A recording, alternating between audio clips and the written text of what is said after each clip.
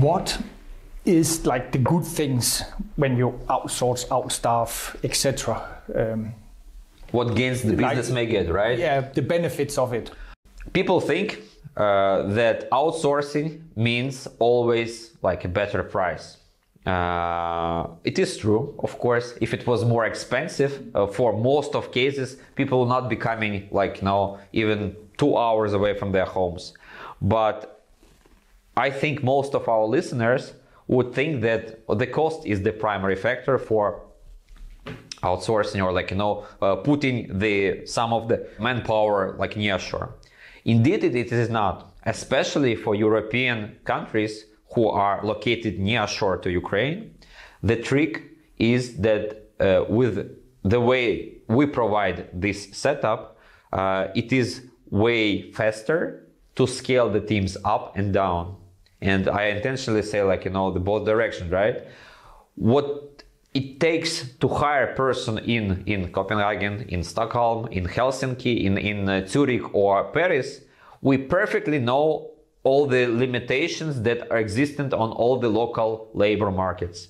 We know there is always a shortage for IT talent. We know that all these countries, all the cities that I had mentioned, all these countries, they have a huge local demand for IT talent. Let's look at Ukraine for now. Ukraine doesn't have a huge demand locally. It is picking up.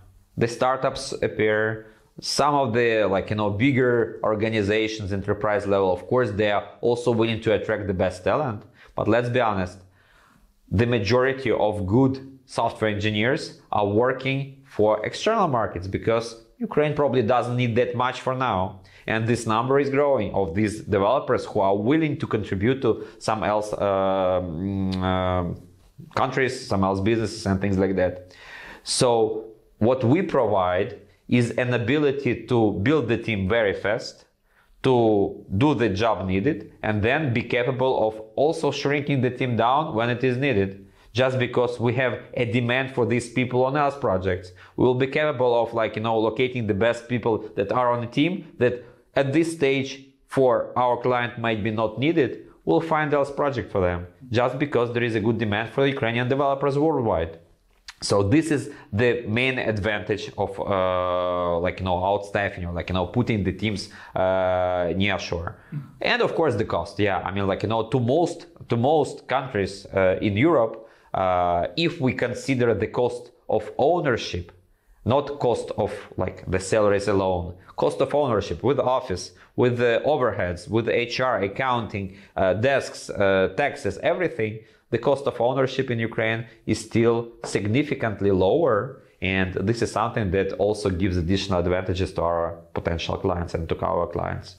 There's also, you mentioned a lot of good things, but there's also things that you should watch out for before you, for example, decide to uh, to outsource. Um, because in general, there is not always, but there is always some that have a bad experience Lots of bad experiences, to be honest. And I believe this is often due to the reason of people not being prepared to what outsourcing or like nearshoring is all about.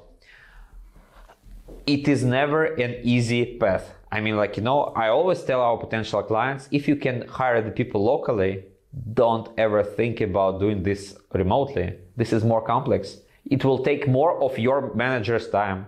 Guaranteed. It will have communication gaps for sure if even if they speak same language same french language same danish language which is hard to find in ukraine but still even if it was the same language the distance makes the impact and it only works if the company considers all pros and cons and understands okay locally we'll be competing with giants we'll be competing with banks we'll be competing with with the companies who don't really limit themselves in budgeting, right? They can throw the money on people just to get the best that they can. Nobody wants to get worst on the market. Everyone wants to have the best developers. Where can I get the best developers? Probably somewhere else in Ukraine. Okay, let it be Ukraine. It doesn't mean that outsourcing simplifies the life of a business. In most cases, it makes things more complex on a setup stage when the business needs to invest time of their managers, maybe sometimes to fly over and spend time with the team because the team needs that maybe uh, to be solving some of the things more formally. In in in office in uh, in uh, Copenhagen, you could go for a coffee and like have one to one with the person that you want to talk about, and and the problem is solved.